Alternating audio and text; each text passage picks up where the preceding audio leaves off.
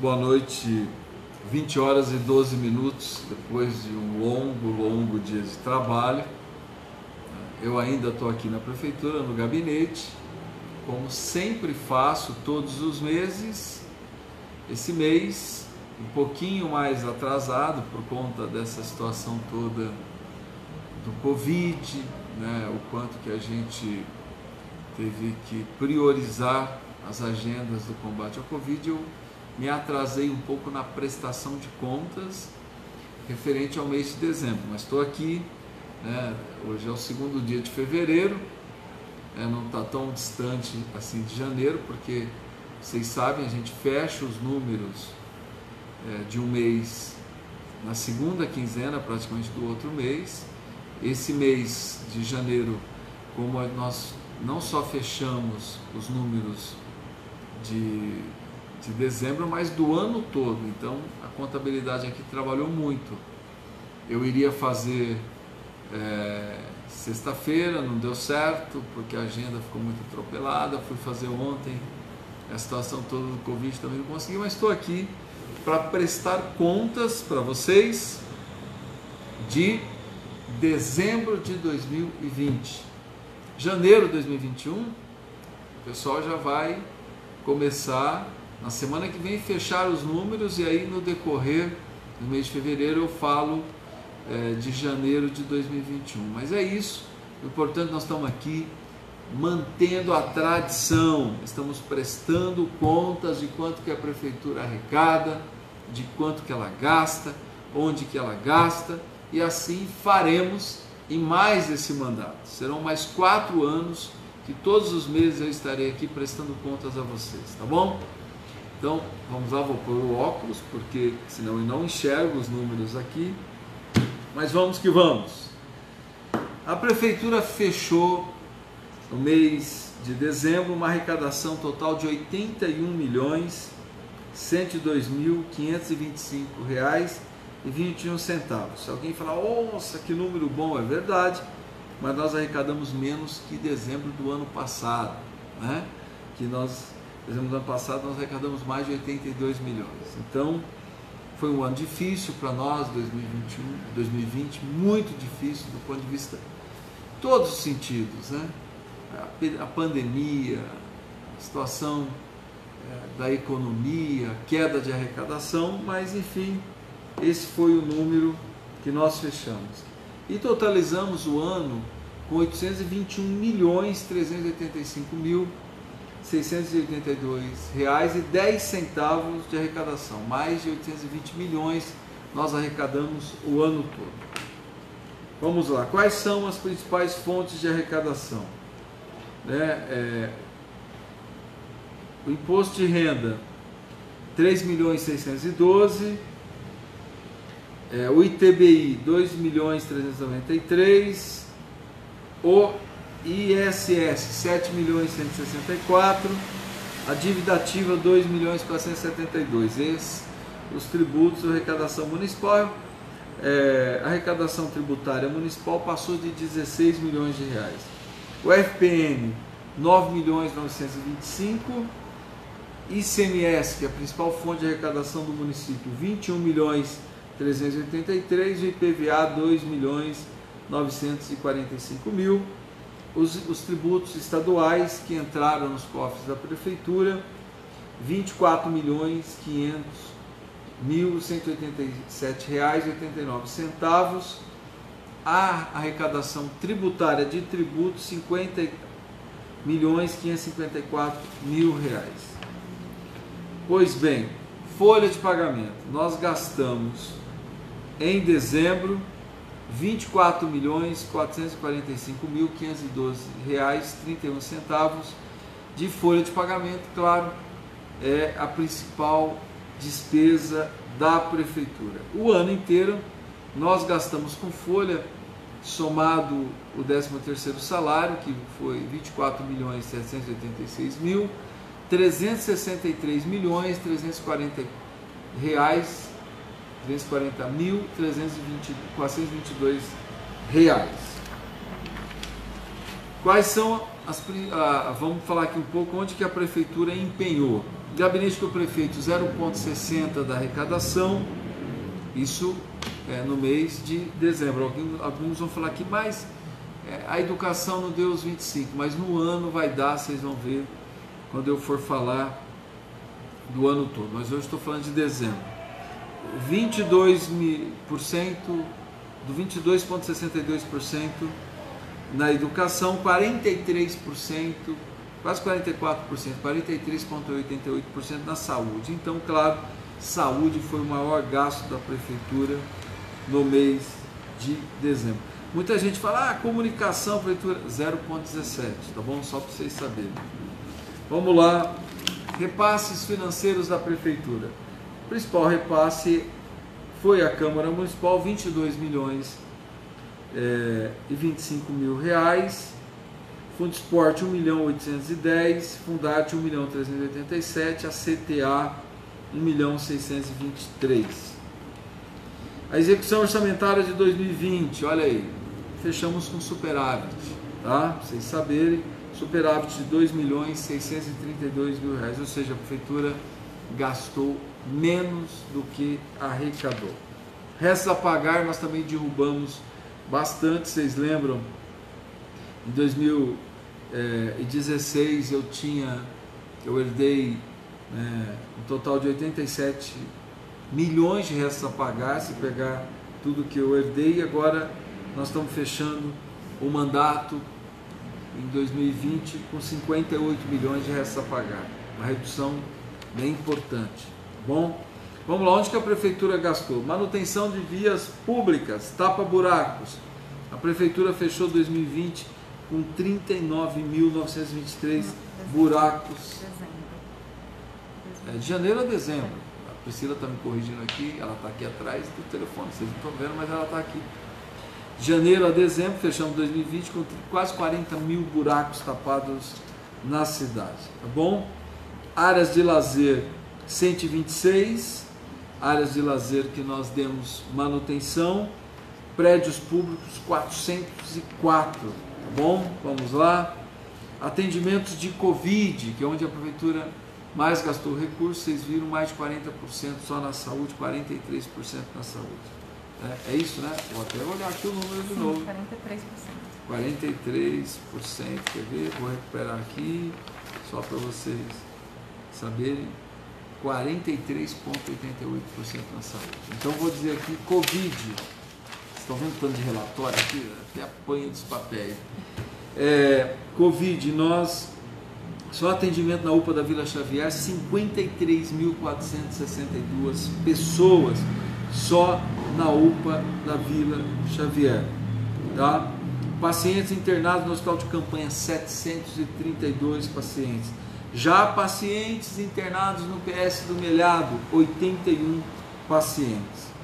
Tá? Na parte é, de ambulatório do Melhado, mais 34 pacientes. Atendimento do Disque Saúde, 4.744. Pacientes com atendimento domiciliar, 508 pacientes. Exames realizados, 41.256, só junto ao Unesp, mais 24.059 junto à Uniara. Apoio psicológico, 343 pessoas atendidas. Vocês estão vendo, nós estamos trabalhando muito, muito mesmo para enfrentarmos a pandemia. Em relação à solidariedade, pessoas que nós atendemos na nossa rede de solidariedade. Foram mais de 125, quase 126 toneladas de alimentos arrecadados. Gente, muito obrigado, cidade de Araraquara, quase 126 toneladas. Compramos mais 216 toneladas. Distribuímos mais de 14 mil, 14.111 cestas, mais de 9 mil famílias atendidas, 9.163 famílias atendidas. Em 2020, 508 em 2021. E mais 508 em 2021. A Priscila está aqui me assessorando corrigindo. Isso aqui eu falei 2020, mais 508 já em 2021. 30, vi- quase 30 mil kits é, de limpeza, né? É, 30, melhor, 30 mil itens arrecadados, 29.758, o que nós juntamos e formamos 5.306 kits. Litros de leites, 14.450 litros de leite, de leite, litros de leite distribuídos. Hortifruti, é, que é o que nós temos com a Secretaria da Educação, quando a Secretaria, as escolas não estão funcionando, nós distribuímos 115.865 mil cestas, quase 116 mil cestas, a Secretaria de Educação distribuiu. Se nós juntarmos tudo, tudo, tudo, rede de solidariedade, mais educação, são 17.326 famílias atendidas. Muito obrigado, Araraquara, a todo mundo que participou efetivamente da rede de solidariedade. A educação, as escolas não funcionaram, mas são 7.707 matrículas nas EMFs, 14, 10.409 matrículas nos CRs, 2.409 matrículas no SEX, EJAS 400, EJA 439, Escola Municipal de Dança 334. Gente, é isso, tá bom? Eu é, falei aqui né, de forma bem sintética, né, fazendo uma síntese de quanto que a prefeitura arrecadou, é, quanto que ela gastou, onde foram os principais gastos da prefeitura. Vamos continuar fazendo isso todos os anos. Quem quiser todos esses relatórios detalhados, detalhados, entre no site da prefeitura agora. A prefeitura, a, prefeitura, a Priscila está fazendo já assim tá para mim. Já está lá todas as informações detalhadas. É isso, gente. Nós governamos com transparência. Nós mostramos onde nós arrecadamos, onde nós gastamos, para que você saiba onde que vai o dinheiro público aqui em Araraquara. Tá bom? Muito obrigado, boa noite a todas e todos. Gente, olha, meus amigos, minhas amigas, quem nos acompanha pelas redes sociais, vamos continuar lutando contra a pandemia. Nós estamos vivendo o pior momento da história da pandemia no mundo, no Brasil e aqui em Araraquara. Hoje foi a maior média móvel média móvel de contaminados. Eu vou dar, a Eliana vai ficar brava, mas eu vou dar um furo aqui para vocês, porque eu já recebi o relatório dos positivados hoje. Eliana, só para a gente, desculpa aí, eu estou sendo fazendo aqui o papel da secretária, mas amanhã ela vai detalhar isso no boletim, mas só para vocês saberem, 46% de positivados hoje. Ou seja, dos exames que foram encaminhados, 46% vieram positivados. Se vocês quiserem comparar, ontem foi 45%. E ontem né, foram 204 casos positivados. Foi, foi o nosso recorde. Hoje, 93 casos positivados, mas foram 202 exames para a Unesp. Gente, mas o, o que, que é grave aqui? É 46% das pessoas que procuraram a prefeitura para estarem fazendo exames, quase 50% estão positivadas. É grave, é urgente, é importante que nós tomemos todos os cuidados necessários. Não acreditem em quem fica plantando pânico, em quem fica tentando criar um ambiente de desespero, porque o pânico e o desespero só desorganiza a saúde pública. Porque se todo mundo correr ao mesmo tempo para nossas unidades, nós não vamos dar conta. Por isso que a gente tem que agir com responsabilidade. não acredite em fake news. Não acredite, ah, Araraquara faltando. Araraquara não está faltando leitos.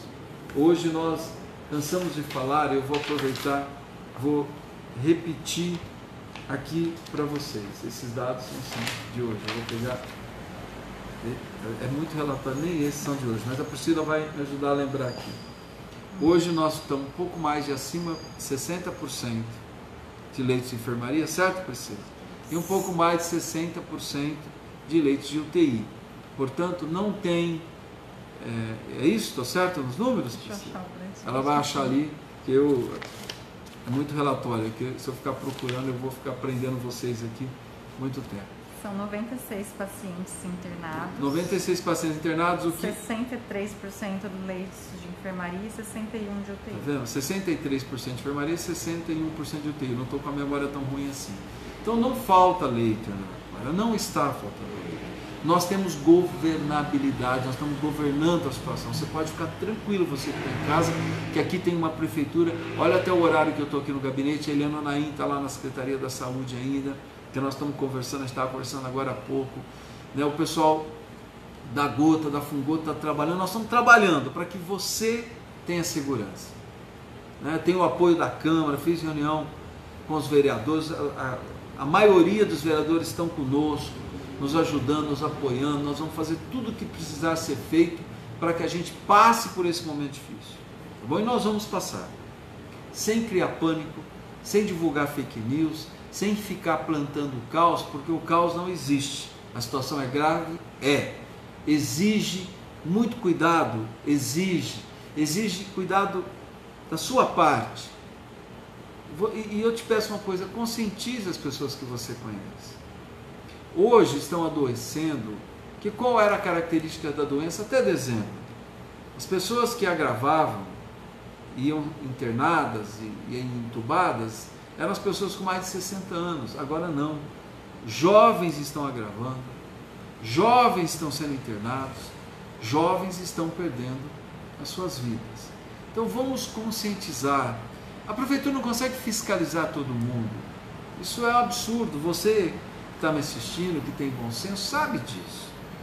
Não tem como a prefeitura fiscalizar todo mundo. O maior fiscal, o fiscal mais importante, está aqui, ó, é a nossa consciência. Tá bom? Então vamos lutar todos juntos, todos juntos, sem ódio, sem tolerância, sem guerra política, nada disso. Isso não, não nos une, isso só atrapalha e desune. Vamos todos nós unidos, juntos, e vamos derrotar a pandemia, pode ter certeza. Obrigado, boa noite, fica com Deus e até a próxima.